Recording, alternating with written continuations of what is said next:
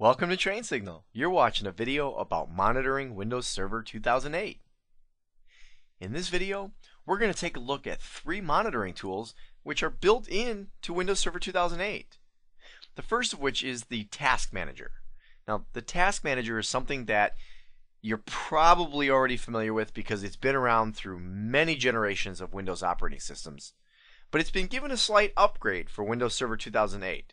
So we'll take a look at those new features in the Task Manager. Then we'll move on to the Event Viewer, which similar to the Task Manager has been available in many versions of Windows, but the Event Viewer has been given a complete makeover. It is nothing like it was before. It is a whole new interface. And then the last tool is the Reliability and Performance Monitor. Now, the Reliability and Performance Monitor is presented as a single console, but it's actually made up of a bunch of smaller individual monitoring tools. The first of which is the Performance Monitor, which is kind of the age old favorite out there. Uh, this is something that's been around pretty much as long as Microsoft server operating systems have been around. It does have some slight changes to it, and we'll take a look at those, but we'll see why it's not necessarily the, the greatest monitoring tool. There's also the reliability monitor, which is brand new to Windows Server 2008 and is something that I think is, is pretty cool. And then last thing we're going to look at is something called data collector sets. And it's these data collector sets which are going to, I think, probably take the place of the age old performance monitor. So that's what we're going to take a look at. Why don't we go ahead and get started? Let's go right into one of our Windows Server 2008 computers. For this lesson, we're going to go ahead and once again connect to New York Member 1. Now, the reason has nothing to do with it being a member server versus a domain controller versus where it is in our organization. Quite frankly, it's important to monitor all of your servers within the organization. The reason we're going to connect to New York Member 1 is because that is the server that we have been installing all the different roles on throughout the different videos, and so therefore it is the most heavily tasked server in our organization right now. And if we're going to look at monitoring, well, we might as well have at least a little something to look at. All right, so let's go ahead and connect to New York Member 1 now. Okay, well, first thing that I said that we want to take a look at is the Task Manager. Now, there are many different ways of accessing the Task Manager, uh, but the one I like to do is uh, just go ahead and right click down here on the taskbar, and then you can select Task Manager from the menu. And this opens up the Task Manager. Now, you'll see that some of it looks very similar to how we've seen it in the past. We have our Applications tab, and here it will show us any application which is running. Now, there's no applications running right now, so why don't we go ahead and open something just so we can see it here. So I'm going to go ahead and click on Start, and I'll just go ahead and open up Notepad. And there you can see in the Task Manager that Notepad is now running. The other status it would be in if it was not running would be not responding. If it's not responding, what you typically would do is go ahead and highlight the application and then you could end the task from this window in the Task Manager. That would forcibly close that application, and this is something you don't want to do just on a whim. This is something you want to make sure that you that you're certain that you want to cancel out of it because any data that you might have been working on would possibly be lost. Now the next tab in the Task Manager is the Processes tab.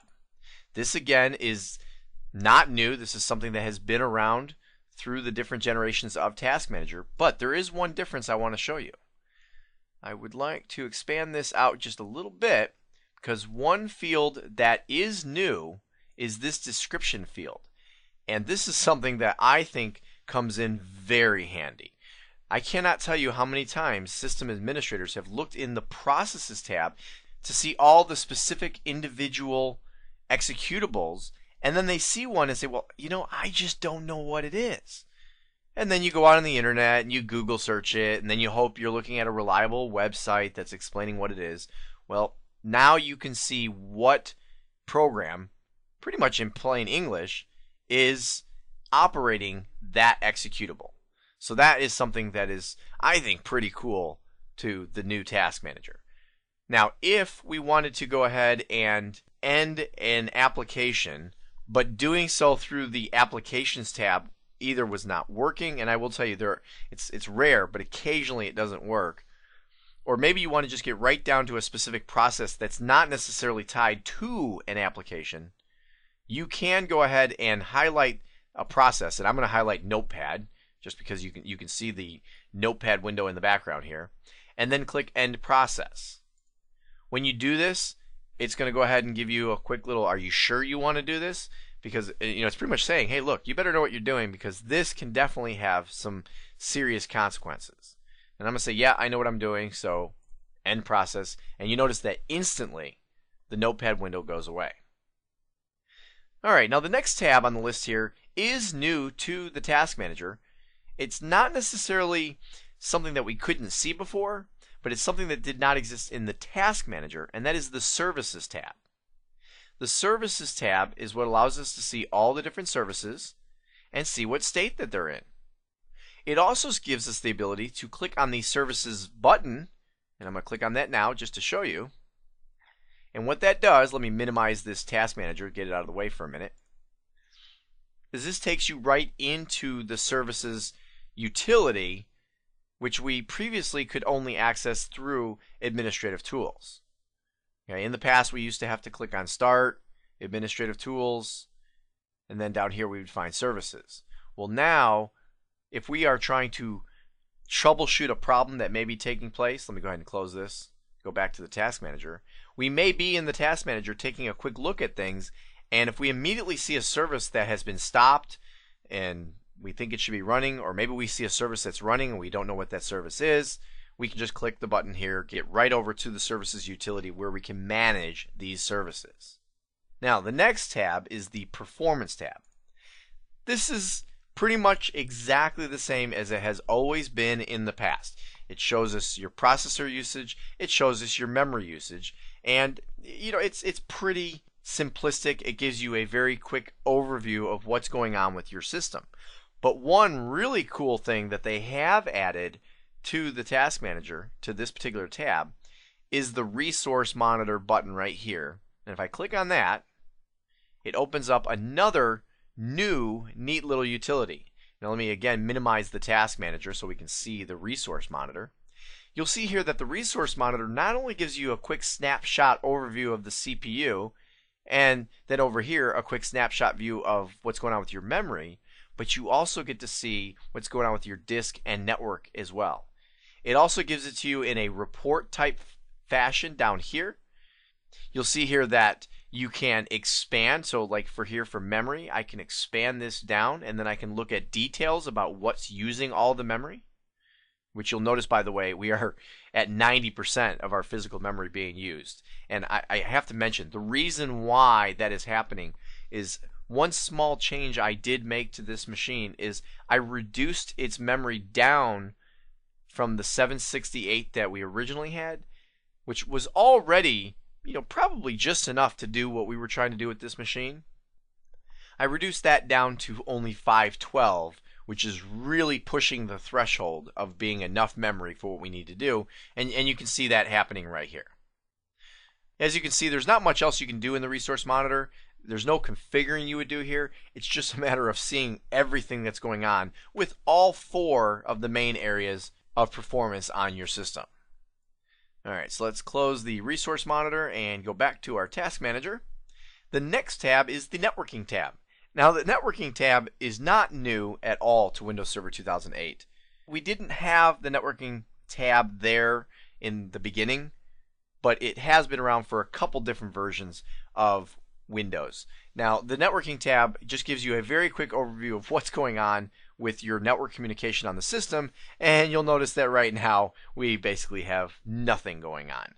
If I were to do something like open up Internet Explorer, and then let me go ahead and minimize this, go ahead and attempt to hit a website.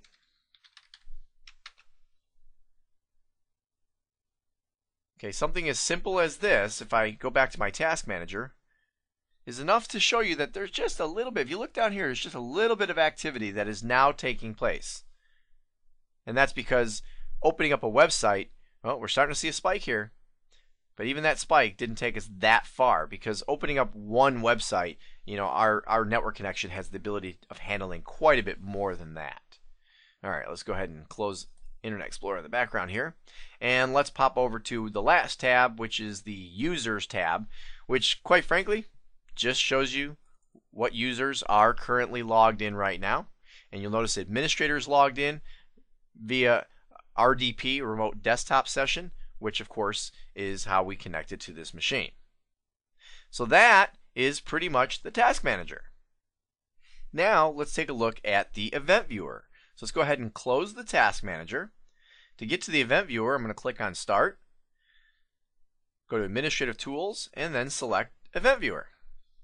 Now, the event viewer is something that has been around for quite some time, but what we're seeing here is something that is totally different than anything we've seen before in any prior versions of Windows. If you've ever seen the event viewer before, you know exactly what I'm talking about, and you're probably looking at this screen saying, hmm, there's, there's a little familiarity, but yeah, this is very different. So the main thing is, is all about the view. Okay, the event viewer, as far as what it is, it's the same thing it's always been. It's been a place, it's been kind of a centralized repository for Windows to store all the various uh, activities that are taking place within the system. And those activities are divided down into errors, warnings, information, audit successes, and failures. And you'll notice right here in the summary of administrative events what I can do is expand on any of those. So I'm going to expand on the errors, and you will notice that they show you each event ID and then how many times they've occurred in the last hour or last 24 hours. So apparently these first event IDs that we have here, although they did happen at some point in time, they haven't happened recently. So let me go ahead and scroll down and see if we can find one that has happened recently. Um, here we go. We got a couple of WINS errors it looks like have happened within the last 24 hours. So I'm going to double click on one of them. We'll take the 4119 event ID. And then you'll see that what it's going to do now is give me a summary page of every time this 4119 error has occurred. So it, it's occurred a number of times within the last couple of days, really. It looks like once, maybe a couple of months ago. And this would give me an idea not only of the full detail of what's happening, but how often it's happening. And that can very often help you to troubleshoot if this is an isolated occurrence or is this happening regularly at certain intervals, things of that nature. Now, again here you'll notice that this is a custom view that, that it is showing you. We have some other custom views that have been built into the system, like the overall administrative events, over here we can expand our server roles and you know there's a number of different roles we have on this particular server. So if we want to see all the DNS server related events you can see them here file server events etc etc you also have the ability to go ahead and right click and create your own custom view and creating a custom view is really nothing more than going ahead and creating a filter that you use regularly. Now we'll come back to this in just a second as far as filtering goes. But this is how you would essentially save a filter that you want to look at on a regular basis. That's what a, a custom view would be there for. But first, let's go ahead and let me go ahead and put that away and expand on Windows logs. The Windows logs you'll see here, you see our typical logs we've always had in the past as far as our system log, our application log, and our security log. But we also have a setup log, which has to do with when you are actually essentially adding or removing roles to the system is really where entries would come into the setup log. And then we have the forwarded events log, which you'll notice has nothing in it because this has to do with any events that were forwarded from another system, which is something that we're not going to worry about for right now. Now, what we also have is we can expand on applications and services logs, these are all the additional logs that would vary depending on the specific applications and services that you have installed on your system. So since we have implemented DFS, we have DFS replication logs to take a look at. Since we're a DNS server, again, here's our DNS server logs, etc., etc., etc. So you'll see there's a number of logs that we can look at that we didn't have in the past. So pretty much, you know, the event viewer, it's the same thing that we've always had in the past, but now we take it a step further and really create unique views. Now, the one thing I said that I, I would show you again is, and I'm going to go ahead and highlight the system log here, is I want to show you one of the ways of quickly controlling what you're looking at is through the use of either filtering or finding. So what I can do is right click on system and I could go ahead and filter this current log and you'll notice the window that opens up is the exact same window that we had when creating a custom view, except for in this case, we're just filtering this specific log. And as a for instance, if I want, I could say, you know what, only show me the critical errors for the system log. And I'm going to go ahead and click OK. And you'll notice that, hey, we have none. Isn't that great? So how about we go ahead and filter it down to warnings. And now you'll see that we do have a bunch of group policy warnings and print spooler warnings that we have working here. So that would be a way of doing a filter kind of as a one-time thing. And if I don't want that filter anymore, I just right click and say clear filter. And then it puts everything back. Now the difference between filter and find is find is not going to change the view that we're looking at here. What it's going to do is give us a typical find window. And this is something that is very different than the previous version of Event Viewer because in the past people used to confuse filter and find because well the window, the interface that would open up would be very similar, but the result was very different. The result of find back in previous versions is the same as it is right now, which is when you put some piece of text in here, like I'll put in uh, 7036. Why am I putting that in? Because I can already see that that's one of the event IDs that we have listed here. If I click Find Next, okay, it highlights the next one on the list. If I click Find Next, it's going to continue going down the list every time it found a 7036. So what they've done is they've made the interface much more intuitive. It's just a very typical find box where you're looking for some specific text. So that's filtering and finding.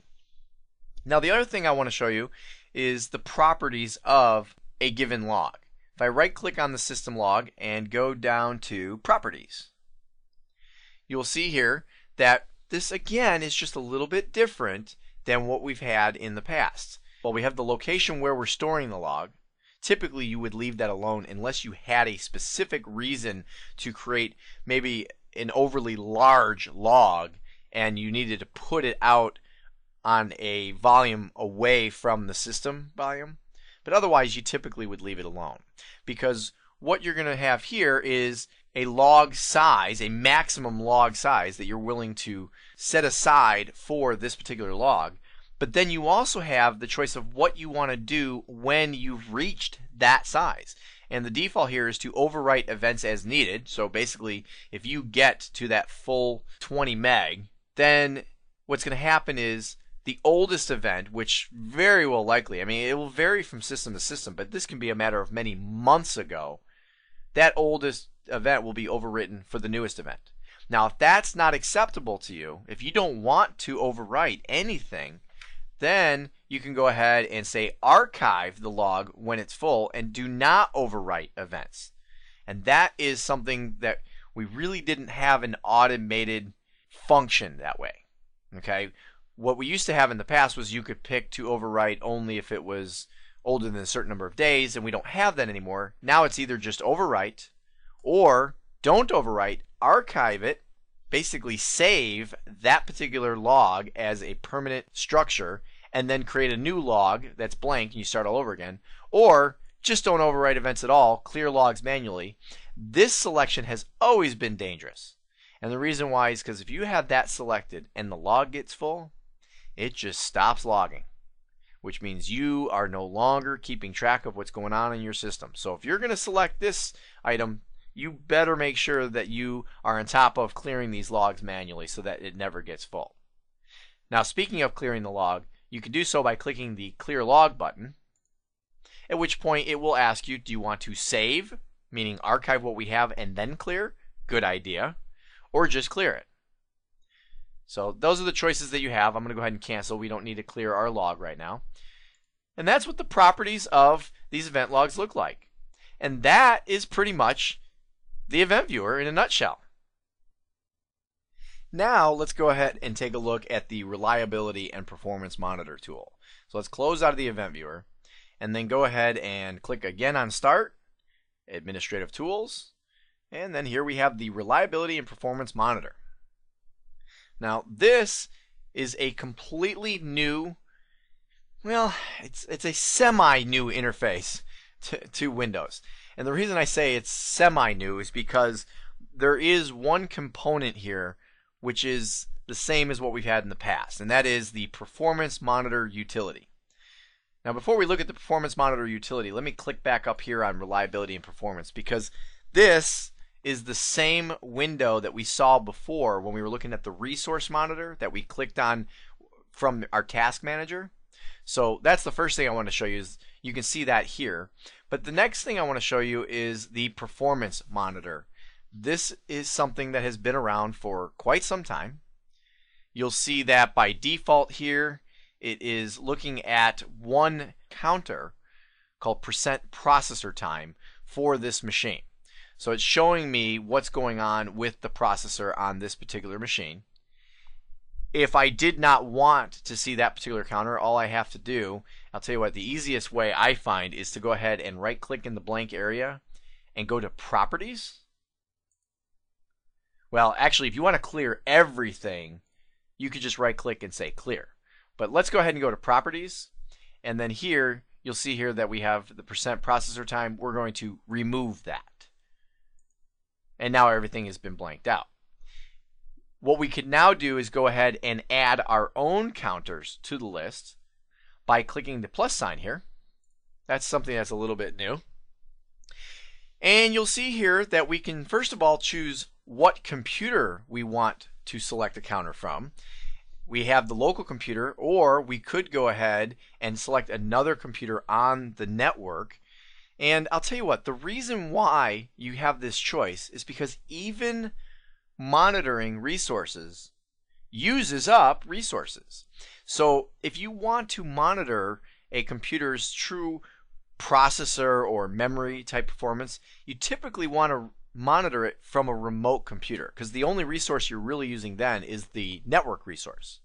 Now, likewise, if it's the network resource you want to be monitoring, well, you want to do it from the local computer. So anyway, so that's we're just going to leave it on the local computer for right now. And next, we have objects. And this right here is the list of objects. And you'll notice it's qu quite a lengthy list. And one of those objects on the list is, and uh, let me scroll on just a little bit more, is the processor. And if I were to expand the processor, you would see here that there are a number of individual counters. And a counter is an aspect of that object that you want to look at.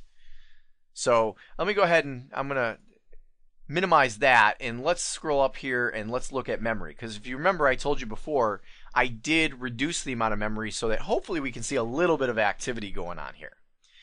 So you'll see here there are a lot of different counters to, to choose from. And that's kind of the point when it comes to why this utility is not a, a fan favorite necessarily. Because knowing which counter to look at in any given instance, boy, that could be a real challenge. And there is something that helps us with that challenge coming up here. We'll look at in just a few minutes. But for right now, I'm going to highlight all of these counters and click Add. And you'll notice here that it pretty much says, uh-oh, it looks like I must have also added the processor, both the memory and the processor. So let me go ahead and scroll up here. Let me actually highlight processor and remove that. There we go. This shows us that the memory object, this asterisk right here says all the counters have been selected. So I'm going to go ahead and click OK so that you can see what happens here. You'll see that we have this huge list now, and this list you know, we scroll down through this list, a lot of different colored lines, a lot of different dashes and dots and solid lines. And you'll see here that we got all kinds of stuff going on here. And most of it is pretty much just kind of flatlining out, some of it down near the bottom, some of it up near the top. It's pretty much because we're not doing a whole lot right now. I mean, if I were to go ahead and click on Start and maybe go to Administrative Tools and ask for a utility, additional utility to open up. Oh, you might have saw it in the background. Let me close the utility. You can see that we started tasking this system quite a bit actually, considering we're pushing the threshold of memory. So as you can see, you can definitely get a view of what's going on with your system, but kind of difficult to really pinpoint exactly what it is you want to look at when using this tool. Now you can pick and choose which lines you want to see by either clearing or adding a certain checkbox back in, or you even have the ability to go ahead and highlight one of them and then click on the actual highlighter, which will turn that one particular line into a nice thick black line that would stand out from the rest. Also, I wanted you to notice that when you put your cursor, let me go ahead and clear that highlighter. When you put your cursor just on one of these lines, it will tell you exactly which counter that line represents. So this one says it's available bytes, whereas if I move my cursor down a little bit, this one is available M bytes. Whereas let's go back to this one. This was bytes. This megabytes. If I come down here just to pick something, system driver, resident bytes, etc., etc. It can be quite confusing. So let's move away from the performance monitor and let's move on to the next item, which is the reliability monitor. Now, this is something I think is pretty cool. The reliability monitor is just that. It is something that tracks all the changes that are made to your system. Every time you add a role, remove a role, add some software, make a significant change, maybe install a service pack, and then it looks at the result of doing so and in some cases, you just end up with a little information bar here. So let me double click on that and it will show you what exactly took place. It's just information. And you'll notice that there were no failures. It just says that something happened. There was some software installed. And then you also have some red X's here. And if you click on the day with the red X, you can actually go down here and you'll see that there was an application failure. Apparently on that day, Explorer stopped responding. Back on September 19th, 2008. Every time there is a failure of some sort, the index will be reduced. And as you go through time without failures, the index will increase. And the index will be a maximum of 10 and a minimum of 0.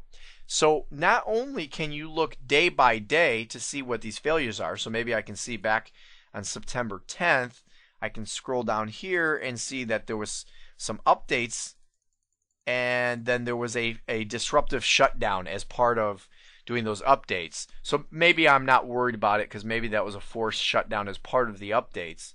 But then, like I said here, nine days later, Explorer stopped responding. Hmm, may need to see if we have a trend. But outside of all of that, I have an overall index that says, okay, well, Right now, we're sitting at an 8.59. We're still sitting pretty high on our reliability, on our stability, you know, system stability chart. There is no magic number that says, okay, well, if you get below 8 or if you get below 5, or there's no one particular number that says your system is no longer stable. It's just something that you want to keep an eye on and you want to watch for a trend. You know, so as for instance here, you'll notice that we were running pretty stable for quite some time and then we lost a little stability, leveled out, lost a little more, leveled out, and we actually have ever so slightly come back up because you'll notice at that last error we were at 8.48, but we are working our way back up again. As long as I don't continue to see this trend, we're probably okay. But if I continue to see it heading down, I'm going to have to take a good look at what's going on with this system and determine if I need to either take away some of the functionality of the system, maybe it can't handle everything, or if it needs some cleaning up. So that's the reliability monitor. There's really nothing to configure here. It's just a matter of seeing how the system is doing. And I think that's pretty cool. All right. Speaking of something that's pretty cool, let me take you on over to something that I think is probably the best tool out of this entire reliability and performance console, and that is the data collector sets.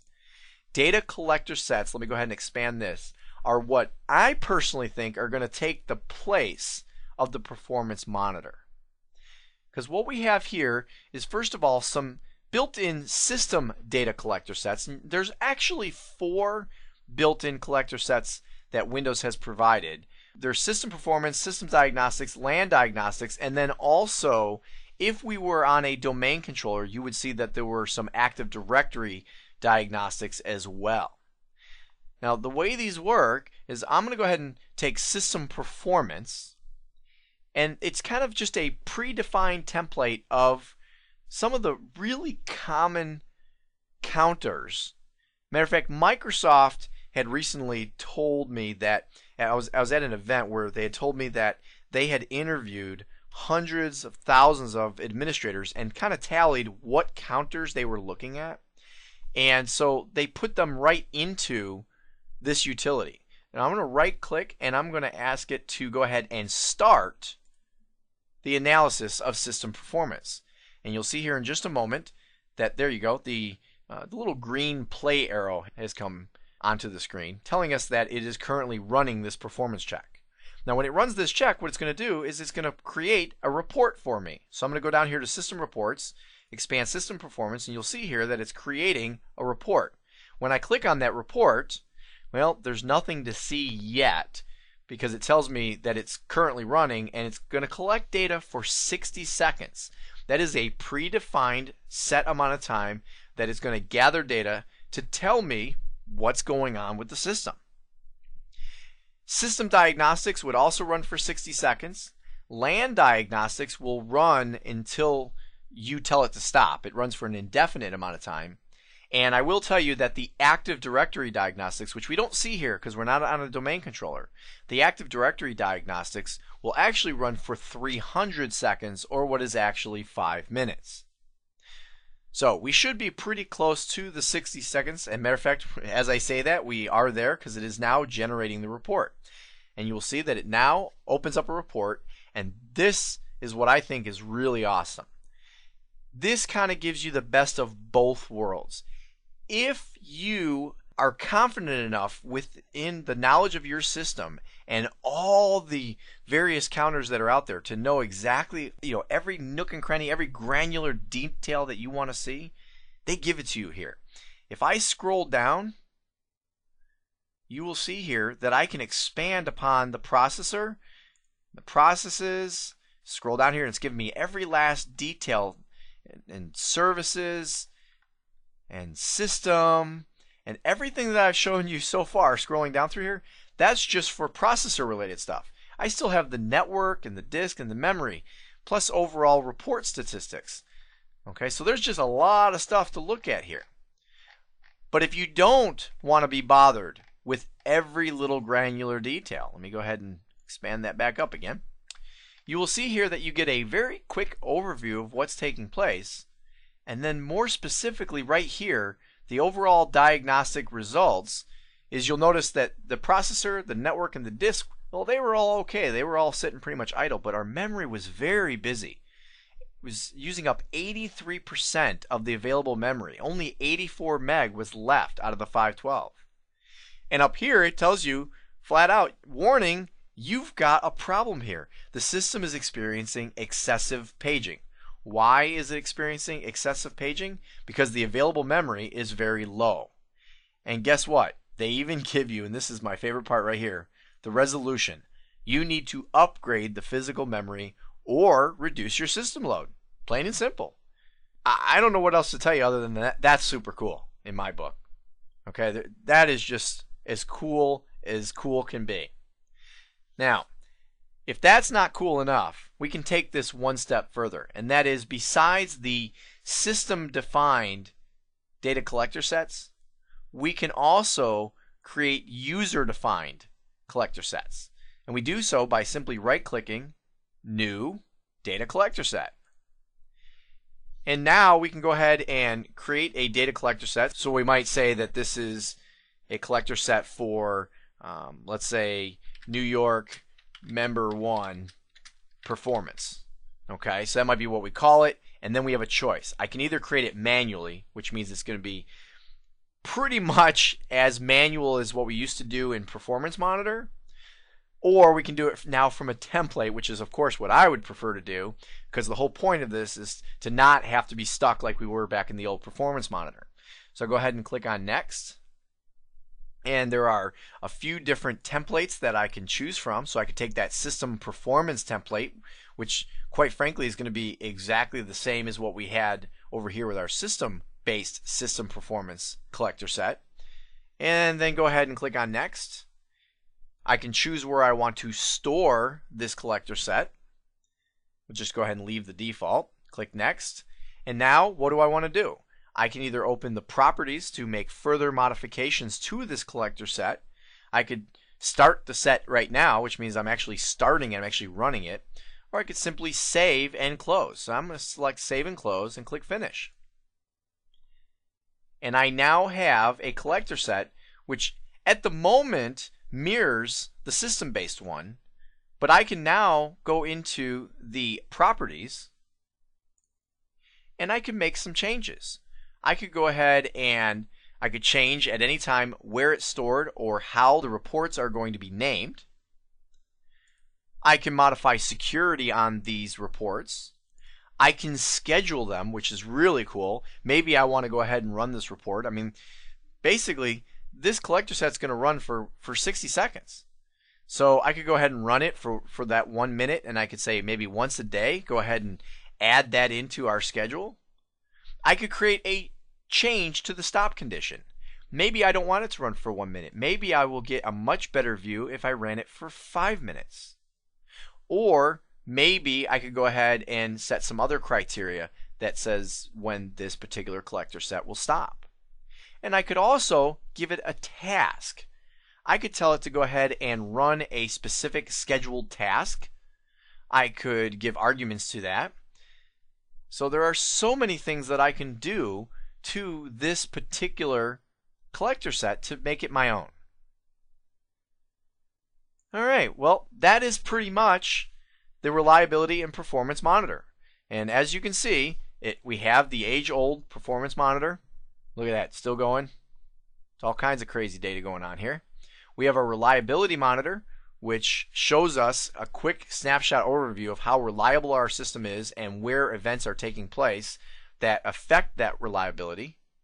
And then, of course, we have our data collector sets, which will generate these reports, which give us a nice summarized overview and even suggestions if we are having a problem. All right, well, let's go see what we've talked about in this video. All right, well, after watching this video, you should now know how to monitor with the Task Manager and know what each tab can be used for. Should know how to monitor using the Event Viewer, and the main thing there is knowing how to navigate the new interface because it has changed considerably. And you should also be able to monitor with the Reliability and Performance Monitor, including the Performance Monitor, which has been around for a long time and eh, is not the most user-friendly tool, the Reliability Monitor, which is new to Server 2008, and data collector sets to create reports. Now, one thing I want to emphasize before we end this video is the importance of focusing on what tools are available, where to access them, and the basics on how to use them, more so than focusing on every little detail of those tools. And the reason why is because every scenario that you are presented with is going to be different from every other scenario. And so it's it's not so much a matter of memorizing, well, if this were to happen then I would do this and if that were to happen I would do that. It's a matter of saying, all right, we have a problem. I know what my tools are. I know how to use them. I can solve this problem. All right. Well, that's all I got for you in this video. I look forward to seeing you in the next one.